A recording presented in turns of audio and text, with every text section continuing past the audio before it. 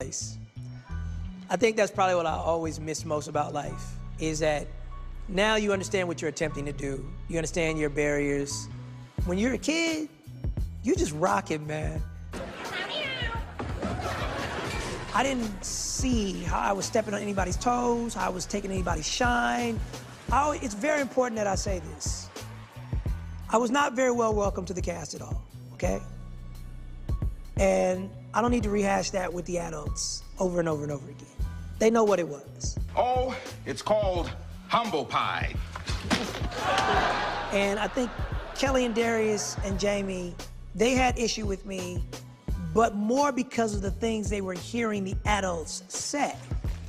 Over time, Kellie and Darius became truly my brother and sister. Even Reggie VelJohnson, I always like to give him the credit that he deserves. That he came to realize that we were about to do this Jordan Pippen thing, and it was going to change his life, and it was going to change all of our lives for the better. So I don't ever like people to think that I have a problem with Reggie VelJohnson or even Thelma Hopkins. It was what it was. They knew more about the business than I did at that age. They understood how a dynamic was changing. But I just feel like they do deserve credit at times for having helped foster a more harmonious environment by season three, by season four, by season five. And, uh, and we did become very much a family.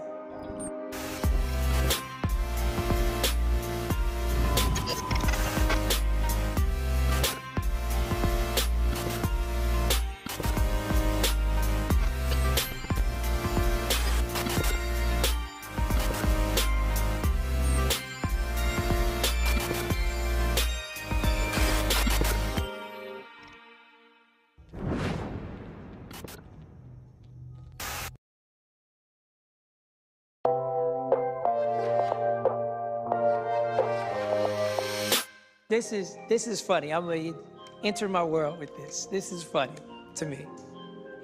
Jo Marie Payton France, who played Harriet, will always say that the show was her show because it technically was a spinoff of her character from Perfect Strangers. No, Harriet used to run the elevator, but now she's got her own show. It's called Family Matters. Watch this. However, networks play games because networks a lot of times don't necessarily believe in the star power of any one person. So Reginald VelJohnson was hot off of this movie, Die Hard. So we have to pair her with somebody who is going to be hot too. And if you really stop and think about it, what did Reggie wear in Die Hard? He was a cop. So they weren't even very creative about it. They were like, go get the cop from Die Hard to be the cop in our sitcom. We'll tell the mom she's the star, technically. Then they go get Thelma Hopkins. And knowing how networks get down now, I'm sure they're like, yo, you're technically the biggest star in this cast. Because she was. Tony Orlando and Dawn, Give Me a Break. Like, her resume was actually longer than both of theirs. So I think you had these three adults who all entered this show with the idea that this is my vehicle for me to break out.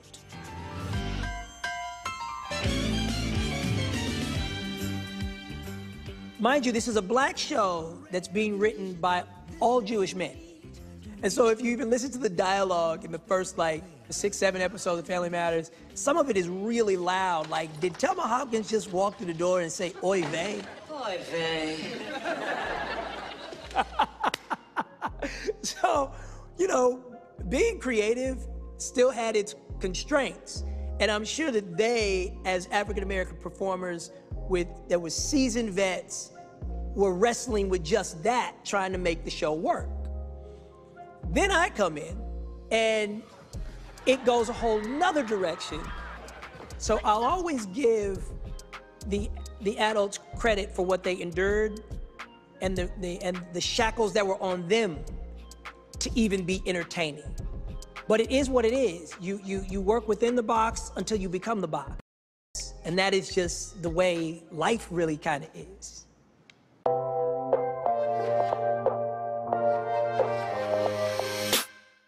My mother and father, Gail and Michael, were high school sweethearts of the Crenshaw district. Let's see, my dad was a bus driver. Mother worked for the post office when that was a reliable job. And they had me at a very young age. And my mother quickly assessed that my dad was working well below his intellect. And she got him a application to apply for dental school at UCLA. Back when affirmative action meant something and you could get some student loans and just create another life for yourself. My dad always wanted to make sure I played sports because he came from a very religious family where he was not allowed to play sports. And uh, so I played everything. I played baseball, basketball, football, you name it. And that was really my focus and, and my heart. But this thing started when I was three years old that was gaining more steam than any of us ever realized while we were living a very normal life. And that was acting. So I went to a preschool in the hood called Castle in the Cloud. And Miss Eva Lou, who owned the place, saw something special in me.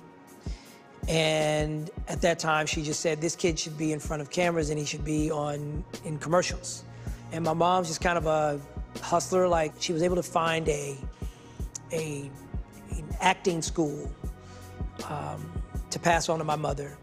And an agent named Iris Burton on a talent scout.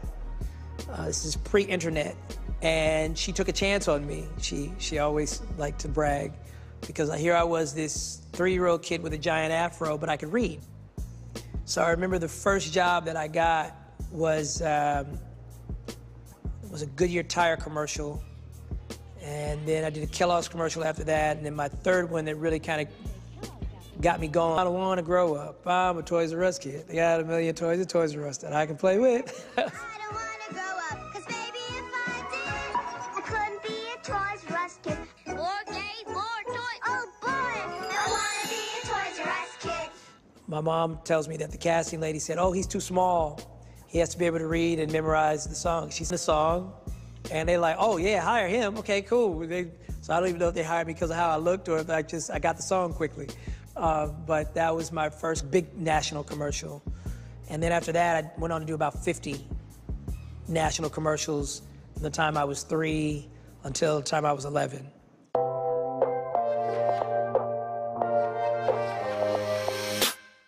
One of the things I really was kind of good at, though, was I was good at reading the room. Showing appreciation with a per- when adults were happy with what I was doing or displeased.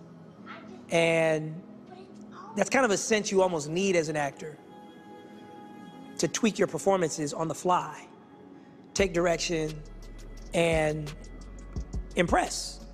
Marker, take two. But mom, we don't have any Sugar War cereal left. My agent Iris went on to become the most successful child agent ever.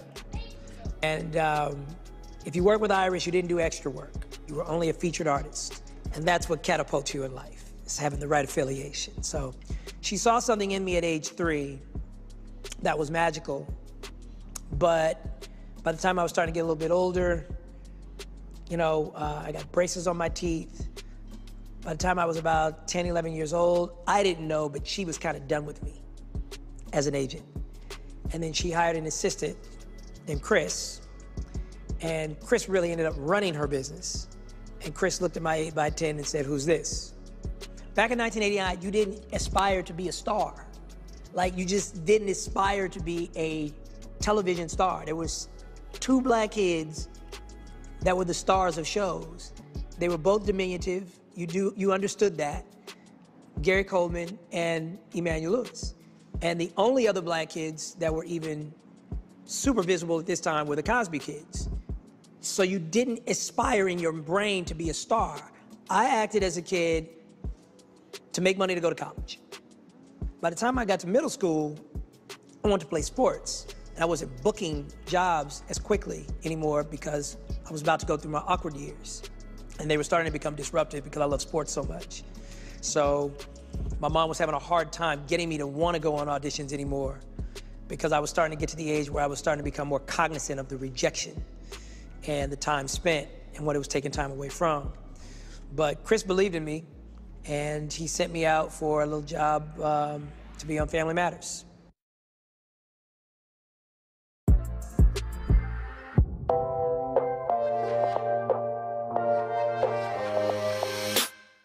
I think the biggest moment for me accepting fame is uh, 1992 NBA All Star Game.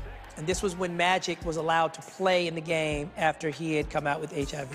And I'm pulling up in my limo, but some kids saw me and started screaming and going nuts. And they just started rocking my limo. And I remember there were three people that had to go through the kitchen. And that was what the bellman said. He's like, man, only three people, man, get to come back through here. And he was like, you, Michael Jordan, and that MC Hammer fella. and so it's like, for me, that was really the solidifying moment that was like, whoa, what is this? And then another moment that was actually kind of cool, though, was uh, realizing I could contact people. A producer had used me to get Laker tickets. He invited me to the Laker game, but ultimately, when I got to the Laker game, I realized that he had used my name to get these tickets. And I was like, so I can call any publicity department I want if I want to like meet somebody or. And he's like, yeah, if you have their contact, Jay, sure. And I made a list. Randall Cunningham, Warren Moon, Emmitt Smith, Deion Sanders, Bruce Smith, Thurman Thomas. I remember the list like it's yesterday. And I started writing all these dudes letters. Let And I sent an Urkel doll with that letter to all of my favorite sports stars. And I remember for a whole season, it was like every table reading. Jaleel, you got a package from the Atlanta Falcons. Jaleel, you got a package from the, from the Philadelphia Eagles. Jaleel, you got a package from the Buffalo Bills. And so that's when I started to understand what stardom was, this reach. But the thing was, again, I had such humble parents that they weren't trying to do a lot of the shadier stuff that people will try to do when they now have access to just open doors, open doors.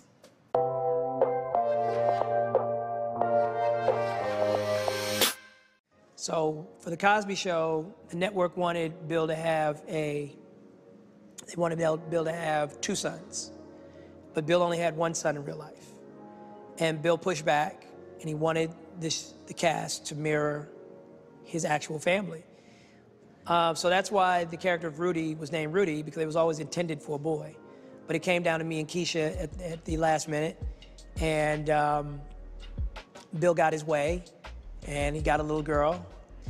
And I remember I just bawled my eyes out.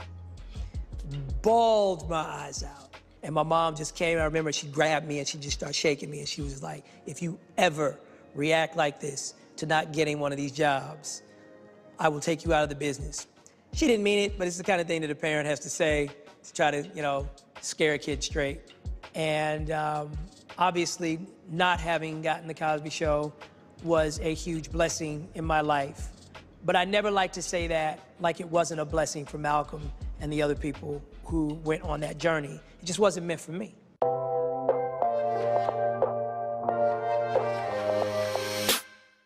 Reconnecting with Mr. Cosby, I don't know if it was subconscious or what, but it just, it happened. Now you're a star like he is technically, and I fostered a relationship with Mr. Cosby, separate and apart. Many dinners at his house, breakfasts. Um, I even ran into a rough patch, and he's directly responsible for why I ended up at the William Morris Agency, which became an education unto itself. Um, there were really only a handful of African Americans in the 80s and 90s who shaped every film and television opportunity that has come since. And Bill, Magic, Mike, Oprah, these were like the individuals that were that. I actually had a, a bit of a falling out with Mr. Cosby, um, and I kept that to myself. I come from a generation where you respect your elders no matter what. And it's a tough thing to process in a generation that says it's all about what's young, it's all about what's relevant, and it's all about what's hip. So knocking off these monuments that are still human beings, um, it's, it's, it's tough. And when you go back in time and you realize how close you were to something, and you put yourself in rooms where you realize his wife wasn't there, that woman was probably there for that purpose. You know, it's a hell of a hindsight thing to look at. And you don't want to you don't want anyone to feel like you're trying to use it for clout. You know what I'm saying? It was like a revered man did a terrible thing and he's paying the price. It's just like I think that's where we where we leave it. A revered man did a terrible thing and he is paying the appropriate price. And I had tried to watch the show one time, and we didn't think it was very funny. but back then, if anybody was black on primetime TV, you stopped and you watched to see what they were going to do. And um, so I didn't think anything of it being cast to be on Family Matters because it was supposed to only be a guest spot. One off, that's it, one and done. It's actually episode 13 either 12 or 13. I don't know, one of the two. It's called Laura's First Date in season one. Hi, Laura. I hear you can't get a date for the dance. So The first table reading was magical, and they sat me right next to Kellie Williams. And I went right into what I did, and it just got like a really big reaction at the table reading. And even to the point where Kellie was like, where you find him? I didn't care where you find because Kellie was Kellie was just a country girl from Maryland, man, who would always speak her mind. God, I love me some Kellie Williams.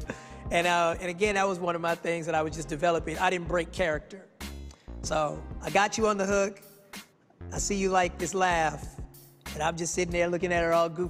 Showing appreciation with a perfect promotional item is a meaningful gesture that can be touched, held, and enjoyed.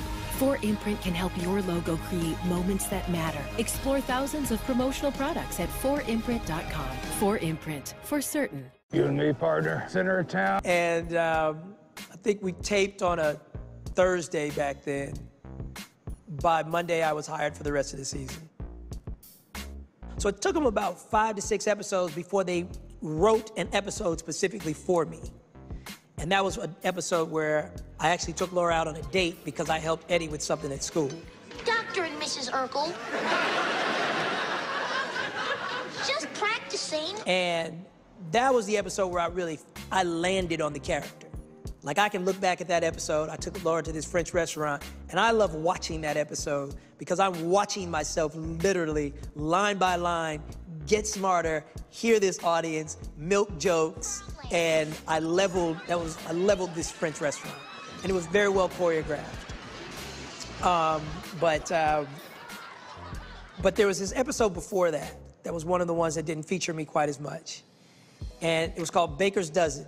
As a matter of fact, still first season, where Rachel gets this bright idea to turn the Winslow kitchen into an actual commercial kitchen to bake pies to sell to restaurants, and it's a big side hustle. It's gonna make all this money for the family. But ultimately, the episode just ends in a food fight. So I'm watching it run through, you know, Kellie and Darius, everybody get all dressed up for the food fight. Again, I'm an athlete, I'm competitive, I'm A-type, I'm everything. I'm like, I want to throw pies at people's faces. and I remember going to our producers at the end of the run through, and I asked them, I was like, listen, I don't care like what I get to do, but can you please put me in this food fight? And I remember when the script arrived to the house and I saw that I was in the scene and I was just like, oh my gosh, this is not how I wanted to be in the scene. And they wrote it in, the writers wrote it in so that at the end of the food fight, Steve's goofy butt comes through the back door and they all just look at me and just unleashed. Excuse me! I saw your lights were on. Got anything to eat? Oh man, Kellie and Jaimee Foxworth and Darius talk so much smack. And if you notice, if you look at that episode, those pies are coming to my head so fast. Like, I think they really kind of almost letting out their aggression for what I was. I remember the ratings were like, you would pay attention in the top 100 shows, and Family Matters was like in the mid 50s. If you're in the mid 50s, you probably gonna get canceled. Um, by the very end of the first season, we were knocking on top 20. So we had jumped 30 slots in nine episodes.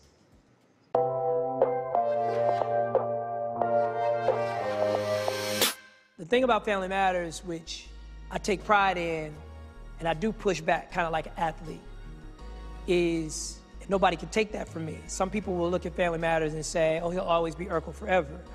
Other people will look at Family Matters and they'll see the entire range of characters that were played, from Urkel to Stefan to Myrtle to Bruce Lee to Elvis. And, you know, they, they see that and they appreciate it. I learned how to act. And every week was a challenge to incarnate what these writers had written. I mean, I really did even hit points of fatigue where I was like, Dave, what are you doing? Like, I got, because don't forget, I'm juggling school at the same time with this. So if you tell me I got to play Bruce Lee this week and I have a whole bunch of choreography, that just was more work for me.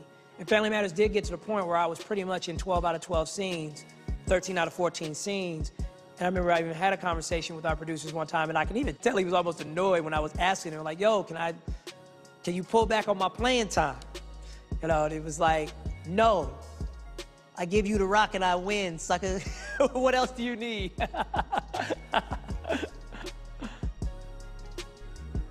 as good as it was, I still was not being paid like my white contemporaries. You know, the Ted Dansons, the, the Tim Allens, and the Jerry Seinfelds were all knocking on the door of a mill.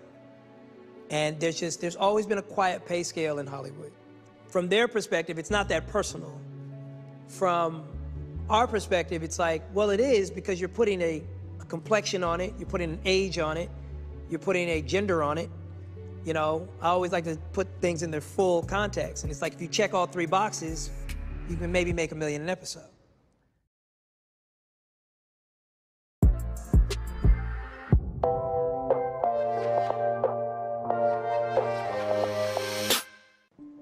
My puberty was special. It really, really was. My puberty. And people don't ever consider that. That you have a young man growing up from age 12 to 21 playing this character and then ultimately these characters. I remember when I did Myrtle Urkel for the first time. Well, hello there. And I just remember, again, I get a lot of my enthusiasm from other people's satisfaction. Everybody on set that week was just amazed. I did run into an issue. Jo Marie and Reggie at that time were very sensitive to putting black men in dresses and they, they heaped that on me. And they, they, they let me know that I was not doing our race a, a service by putting on that yellow dress. But everybody has a default. Do you crumble? Do you wilt under pressure? Do you rise? Do you surprise yourself? My default tends to be to take it up a notch. I mean, that evening I felt like a girl. I felt like a girl playing Myrtle Urkel. But I cried like a baby at the end of that taping. I just broke. And I just cried, cried, cried. And this is what's awesome where you have a great father, you have a good family. And my dad just rose up like a lion and was like, I've watched my son deal with this all week to pull out this performance, and he will never play this character again. You got it once, it's done. But he shouldn't have to carry the burden of some adults making a child feel bad for playing a girl just in fun. And I thought also that all my friends at school were gonna make fun of me. And that Showing appreciation with a perfect promotional item is a meaningful gesture that can be touched, held, and enjoyed. 4imprint can help your logo create moments that matter. Explore thousands of promotional products at 4imprint.com. 4imprint. Instead, I got back to school. Everybody thought it was the funniest anything. And the audience reaction was huge. I even heard a rumor, and I've been told it's not a rumor though, that an NBC executive caught the episode, created a meeting at NBC, and said, hey, they've got a black girl on Family Matters now that's just as funny as the boy. we need to get, we need to get him. I BS you not, like it's not a folk tale. And the Myrtle Urkel episode was always was was a there's a whole episode behind that episode that uh, I think is very poignant, and I'm, I'm honored to have been a part of.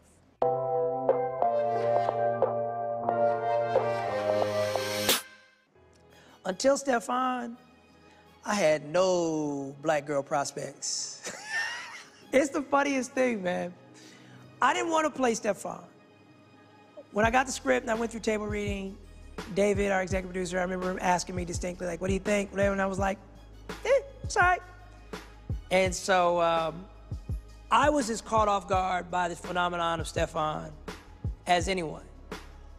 I really had done this show for about four or five years, not fully understanding, fully understanding that all of America thought I was this way. There is no Steve here. I'm Stefan, sweet thing. So with Stefan, Stefan Urquelle. again, I throw my heart into anything I, I do. So I knew how to play him, and it, it got better. But um, I'll never forget hitting that living room door for his entrance in the white suit. To this day, I just never heard a scream for me like that. And my, my instinct was to break character and be like, are you kidding me? But in that moment, I knew not to do it because I was like, something really special is about to happen to propel us through this scene. Stefan saved my life.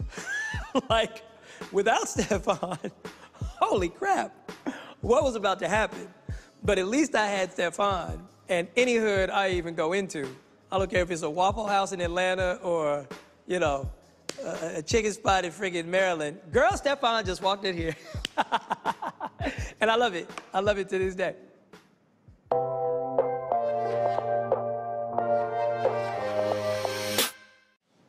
Michelle Thomas, man, just became a very special person in my life and my mother's life. And um, I literally cannot say her name without crying. Ever.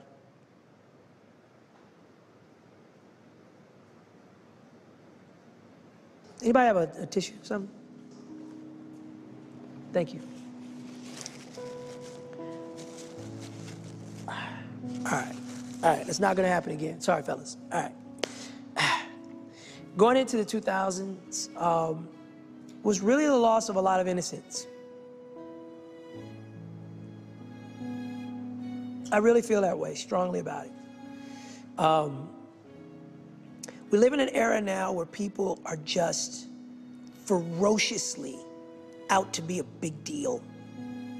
But there were still enough innocent characters in the 90s fame game who were just themselves, good people, everybody loved them, and they fell into this life.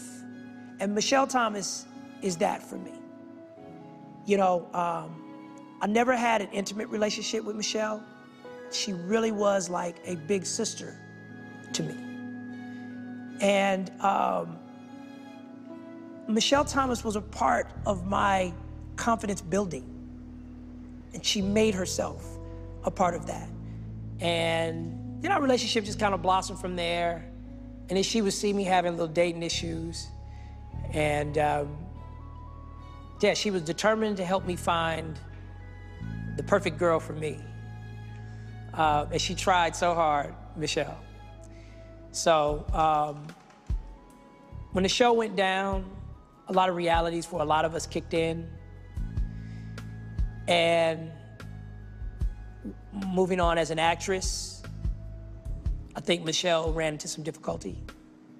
And um, I remember even for a while she worked as a waitress. And she would work way out, like Palmdale, because she didn't want anybody in LA seeing her have to wait tables. And then obviously she got stomach cancer, and my mom really helped her tremendously as much as she could, but it was just too far along. And um, like I said, when you when you know somebody's full journey, what they fought for, what they didn't ask other people for, what they didn't burden other people for, um, and that big just 34 teeth grin of hers, um, uh, you just anytime I mention Michelle Thomas, I just there's a certain amount of innocence. I'm just taken back to, you know, she wasn't. Michelle had a lot of opportunities to sell her soul to the devil, start climbing a little faster. And she just wasn't that girl. She and, and you know, you you admire that knowing that that used to exist. You know what I'm saying? She just wasn't that girl.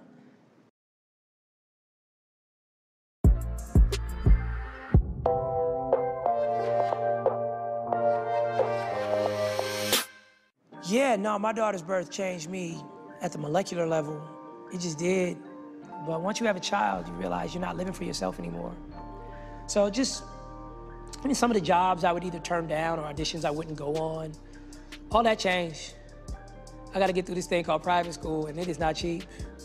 And, you know, I don't even think people realize, even as actors, if I don't work for a year, I don't get my medical benefits. How surreal is that in, in a country as wealthy as ours? So unless I want to create other entities that can provide insurance for us, and it makes sense economically, I got to work. So when you start to approach life being a parent, again, a lot of the ego and pride that you walked around with just goes away. Single dad life comes at you fast. I remember going to meet some friends. Uh, they were coming out of the nightclub. We were just gonna get some food afterwards. And I remember with the ladies they were with, they were like, how many can we fit in your car? And they just opened my back seat and kind of revealed my car seat. when your car seat gets revealed at the nightclub, it's a wrap. Whatever party you thought you was about to do, it just got shut down. Because now all these girls just got a bunch of questions. it's wild. It's, uh, I remember it just put such a damper on my mood for the rest of the night. But the bigger decision that was made, uh, I was not removing that car seat.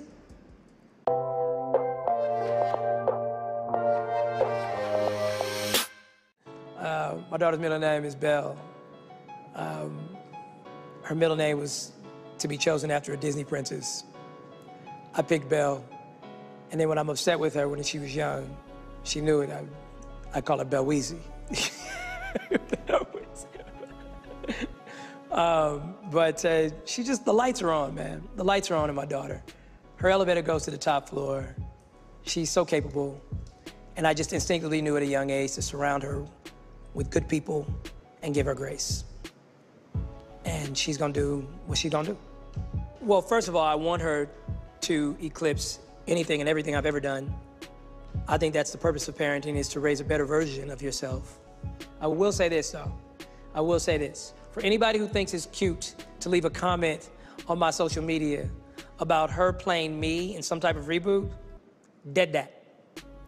That is not happening. Um, I want somebody to have a childhood that is marked by her own decision making. The thing I love about being famous and having a child is your child don't care. It's a big deal to everybody out in the streets. I think the most flattering moment I had when my daughter recognized my celebrity fame. Showing appreciation with a perfect promotional item is a meaningful gesture that can be.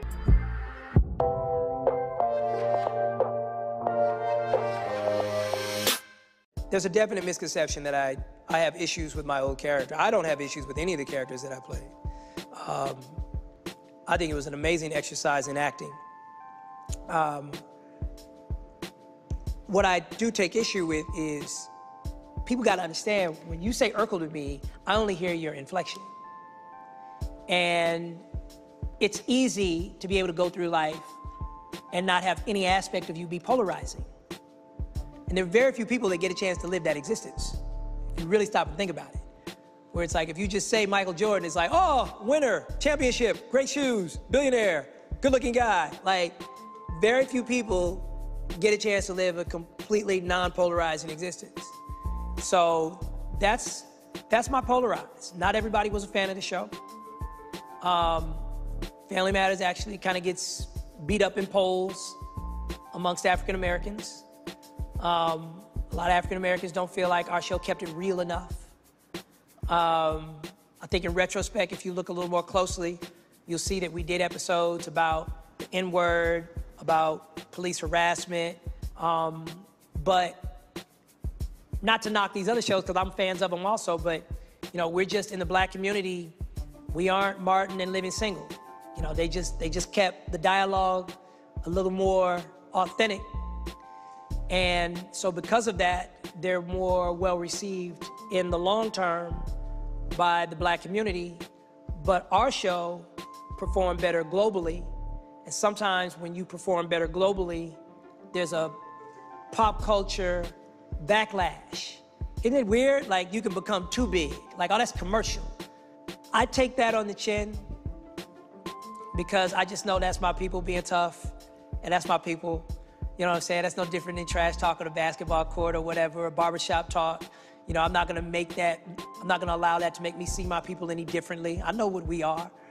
Um, but it's nice in hindsight to get some love that I'm seeing right now on Twitter or social media, where I'll get, you know, a black person in particular saying, hey man, Family Matters did a lot for black folks. Like, damn right we did. And, uh, and its characters left us with a really good, you know, left a really good positive lineage to look back on. What is it, 20 years later? The show ran from 89 to 98. It's 2020. It's crazy.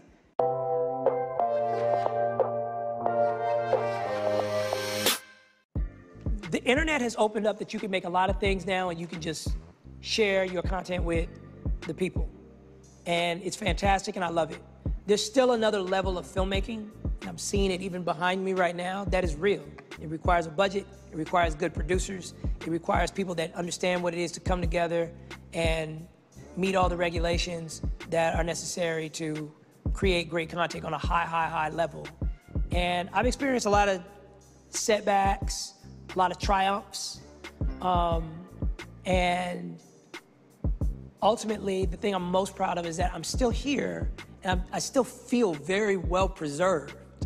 Like I always wake up to say, I'm not crazy. Like I see people losing their minds and I see people, you know, giving in to life's pressures and temptations. And, you know, it just, it, it can happen over time and it can happen in the most subtle ways. Um, I see women carving themselves up, trying to stay young. And it's like, baby, don't do that. Just, just do that with grace. You know what I'm saying? It was like, so any number of stories that I have about a job or a deal that I got passed for or didn't get, that's in the past. It helped me just be a better person for right now. And I think it's very important to move forward in life and leave your baggage behind.